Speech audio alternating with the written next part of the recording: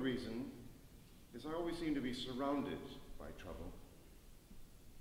My father's earliest memory is a troubled one. Every time he looked at me, he seemed to experience no end of pain or sorrow. My father, B.F. Pinkerton, was an officer in the United States Navy. I say was. He retired early and died early.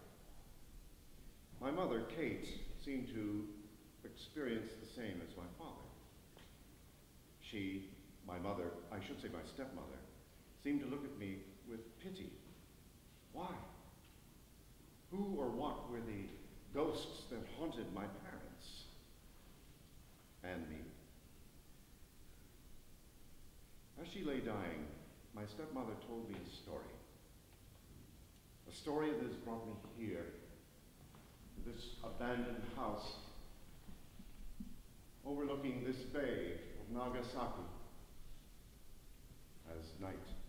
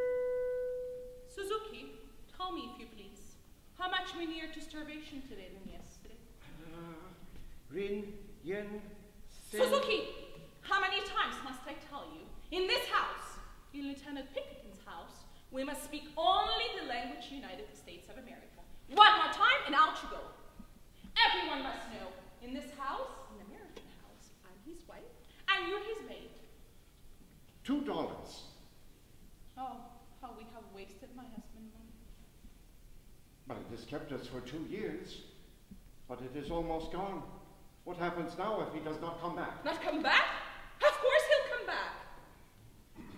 He has an important business in his important country. And if he's not coming back, why did he sign the lease for 999 years?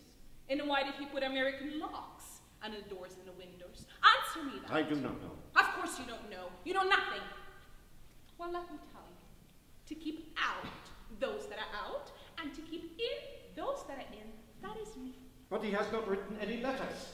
American men never write letters. Never. Oh, never. Ah. And I've never yet heard of an American Navy man coming back to his Japanese wife.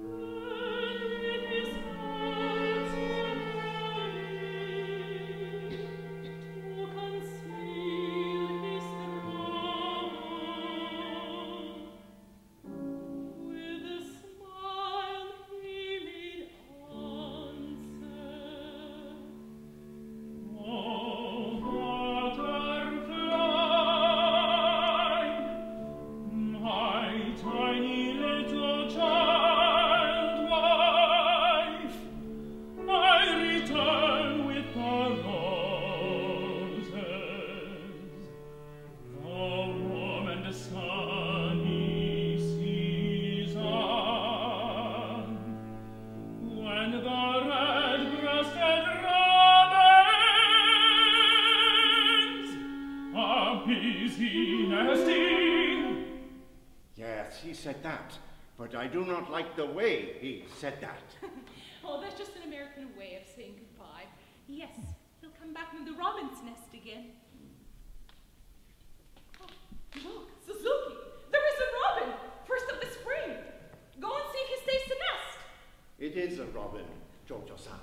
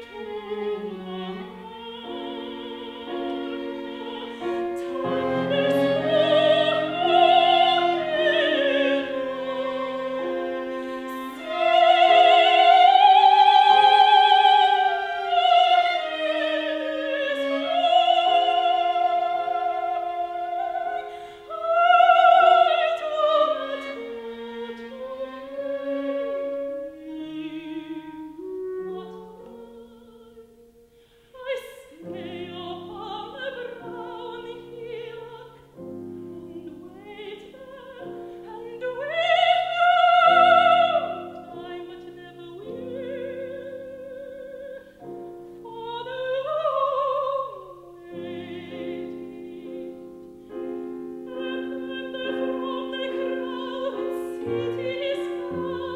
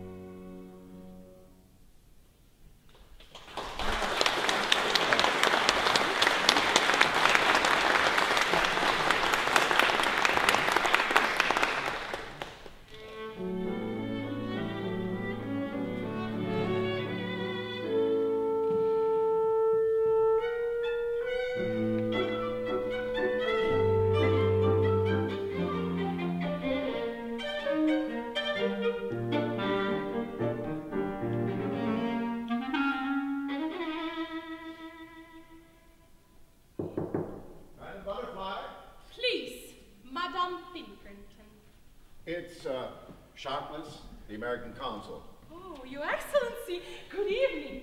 Oh, it's not evening yet. oh, excuse me, I got a little excited. I mean, good morning.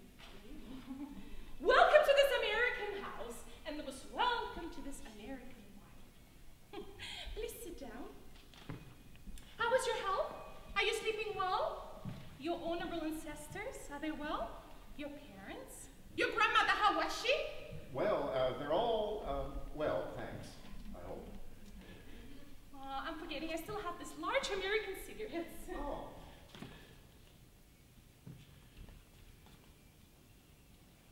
Thanks. Uh, Madam Butterfly, I'm here on a little visit of inquiry. Um, Lieutenant Pinkerton wrote to me. Oh, you've heard from him? Is he well? Oh, he's all right. Oh, that makes me the most happy woman in all Japan. Maybe in the whole world. Uh, what do you think? Sawdust. Pinkerton must have left these. Oh, I'm so glad you came. I want to ask you a little question. Well? You know about the birds in your country? Oh, something. Well, I think you know everything. That's why the country sends you here. Oh, You flatter me. No, you just got a big head. Pinkerton again, I can hear it. now, what about robins? What? About robins, when they. Maybe some nest early in Japan than in America, because in Japan they're nesting now. Well, I imagine they probably at the same time. Yes? Then they're nesting there. Maybe some early, maybe some later. Just what they feel like. Well, possibly. Why do you ask? Because Lieutenant Pinkerton said that he's gonna come back when the robins nest again. Poor devil. One of his infernal jokes. Me? I think it's time. I've waited so long. Who's that laughing? Oh, it's Goro, the marriage broker. You wicked man, stop laughing. While my husband away, you try to marry me off to Yamadori. Silence! Get out of my house! Madam Butterfly, may I ask, where are your people? My people? My people made me marry when I didn't want to marry. And now that I'm married, they don't want me to stay married. Before I got married, my honorable father died. He was an officer. This is his work. You see what's written? To die with honor when one cannot live with honor. He killed himself. He was a soldier of emperor. Then we become very poor, and I danced for a little. And I thought, if some rich man wants me, I'll get married for a while. Because of my grandmother, we had no food, nothing. Then Goro says there was a man looking for a wife for three months. And Goro says there was none nicer than me. He was Barbarian the Beast, but everyone says, yes, take him, take him because he has money. So I say, perhaps for a little while I can stand him. That day I thought Lieutenant Pinkerton's was just a god. Gold buttons, lace in his uniform. At first I was frightened. He held my hand so close, like this. And he kissed me. Japanese don't like kissing. But when Lieutenant Pinkerton's kissed me, I liked it very much. What's to use of lights, not of me? Well, then we got married, and his ship was ordered away. And me, I'm still waiting, sometimes watching, sometimes crying, but always waiting. Ah, the prosperous Yamadori approaches. For the third time today?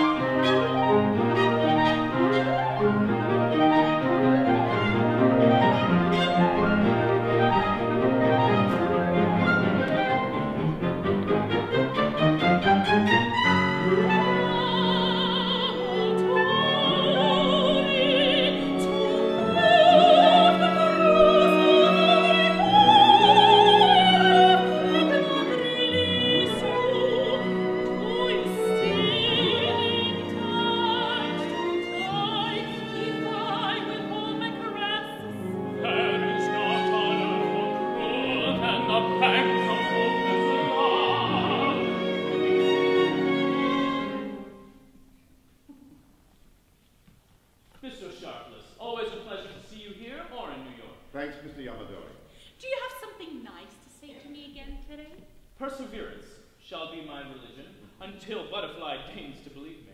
Will you tell me again you're gonna kill yourself if I don't marry you? Uh, oh, that's okay. The counselor knows. I've been talking all about your little foolishness. such treatment, Mr. Sharpless, is one of the many penalties men endure when in love with a charming woman. Oh, that's very nice. My God, just the way Pinkerton winks. I'm in Japan for two months. A pleasure trip. Do you blame me? Oh, every time when he gets home, he gets another woman. By now, he probably has more than eight. But I married them all. Oh, he married whatever he thinks about it. Well, you shall be different. I will bury you with my ancestors. I offered her a thousand servants. A thousand? And a palace to live in. Everything her heart can wish. Is that not enough? Well, then, in the presence of this statesman of integrity, let me put it in writing. Is that not enough? What good is it for a married woman? In Japan, when a woman is deserted, she is divorced. But not in my country, the United States. I know, of course, to open the door and to turn at your wife at any moment. Here constitutes